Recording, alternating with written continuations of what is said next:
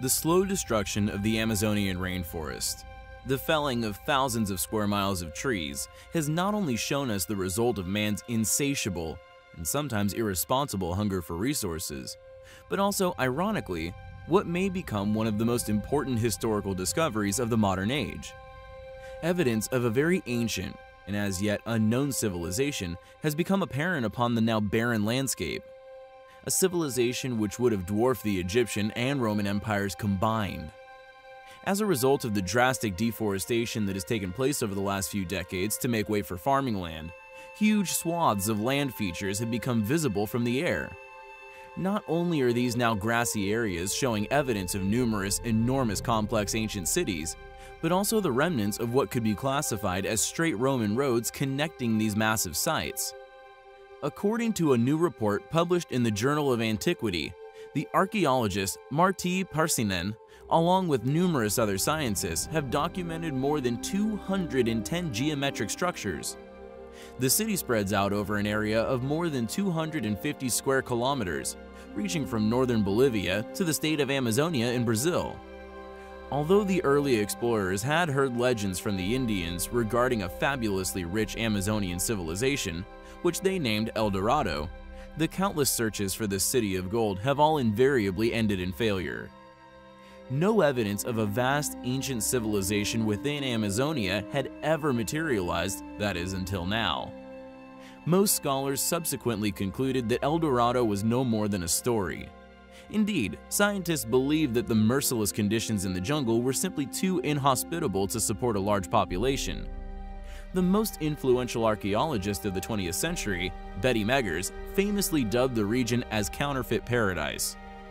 In the early 1900s, the British explorer Percy Harrison Fawcett, while exploring and mapping much of the same area where the ruins were recently discovered, reported finding large earth mounds filled with ancient and brittle pottery and buried under the jungle floor, he claimed he had also found traces of causeways and roadways.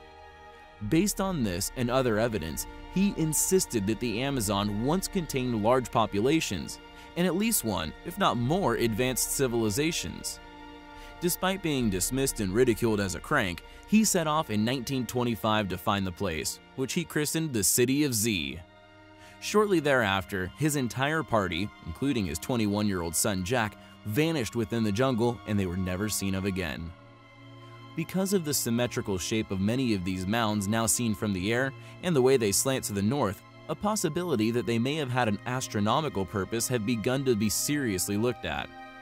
We could quite possibly be on the verge of discovering another highly advanced civilization which once lived here on Earth. As always, thanks for watching guys, and until next time, take care. Over the last few years, more and more modern technologies have been utilized by individuals with access to them in an effort to not only expose the truth regarding the real history of man, but to discover the actual original size of these now lost civilizations' ancient ruins. Many sites have been laid to waste, not only by future settlements and tomb robbers, but by Mother Nature herself many of these most impressive sites having endured eons of erosion after being mysteriously abandoned, exposed to the elements. Yet there exists a number of these sites which have been somewhat protected from these forces. Although vegetation can have a catastrophic effect, uprooting the megalithic foundations of these sites, yet the actual footprint of these structures, and indeed the overall size of these once lost settlements, can still be seen through modern penetrative radar, with one of the most incredible found in the past few years. Undoubtedly, the mega metropolis hidden beneath the dense forests of Guatemala. Although some clearings dotted within this landscape have been spared, somehow avoiding the suffocation of trees, it has been discovered that these sites, long argued as separate sites of habitation, were, in reality, once part of the same gigantic city, one of unimaginable size and complexity, that was unquestionably home to not mere thousands, but was in fact a settlement that was home to more than 10 million. Yet although this reality is a compelling, supportive fact regarding our own beliefs, in regards to a far greater, now hidden, and widely ignored history of mankind. There are still features of this ancient site that is still attempted to be ignored, overlooked, and hopefully concealed from the majority of the world's population, ultimately avoiding them questioning the true reality of what they have been taught and the possible truth regarding our history, which these sites could provide to all those who gaze upon them.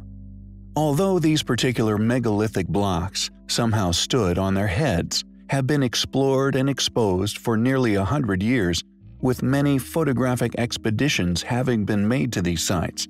It has now been proven that these megalithic blocks were not merely signposts made of stones in situ, but were clearly stones cut and once transported to their current location, and were actually strategically placed within one huge mega settlement.